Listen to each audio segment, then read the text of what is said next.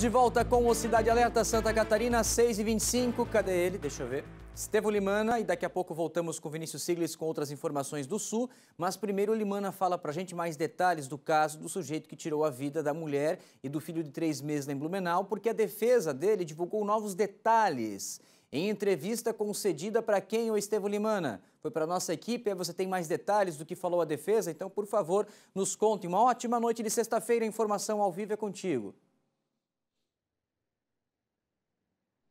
Foi para nossa equipe da TV Record, Zanoto. Uma boa noite para você, uma boa noite para todo mundo que nos acompanha aqui no Cidade Alerta Santa Catarina. Então, as informações foram repassadas por um estagiário do escritório de advocacia que defende o Kelber né, Pereira deste crime.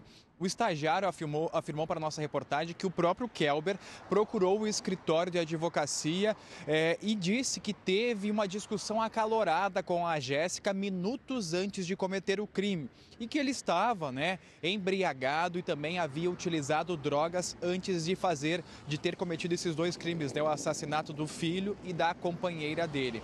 Ele disse ainda que depois disso sumiu e voltou a realizar um contato e que os advogados conseguiram convencê-lo de entregar a criança aos avós paternos, porque ele não queria entregar.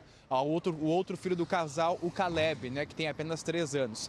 Ele disse então que a advocacia conseguiu conversar com o Kelber e ele entregou em um ponto é um ponto estratégico, né? Eles combinaram uma localidade para entregar a criança, a criança for entregue aos avós paternos. Só que toda essa situação também tem gerado um ruído, Zanotto, porque os pais da Jéssica que moram aqui em Blumenau estavam já com o pedido de guarda da criança, né, após o crime. Durante o velório da Jéssica e do filho, é, eles ficaram sabendo que uma liminar, por meio de uma liminar, lá o juízo de Minas Gerais fez com que a guarda do menino fosse transferido para os familiares que estavam em Minas Gerais.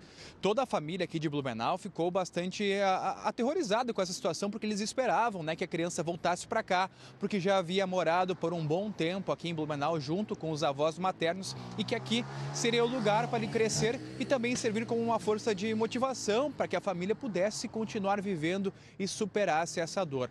Agora, a defesa da família blumenauense está entrando com um pedido de recurso na justiça para tentar reverter essa situação, Zanotto.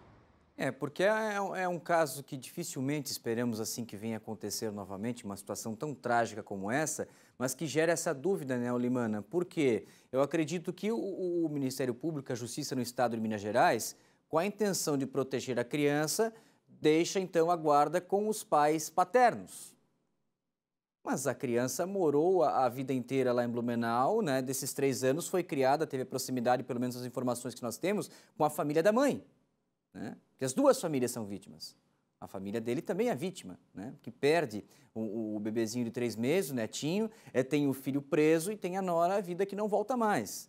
Agora, nesse caso, fico pensando qual vai ser o entendimento da, da, da... Quem define, na verdade? Essa é a minha dúvida, Limana. Porque nós temos a, a, jurisdição lá de Minas Gerais e nós temos a justiça, a vara da criança e da adolescência aqui de Santa Catarina.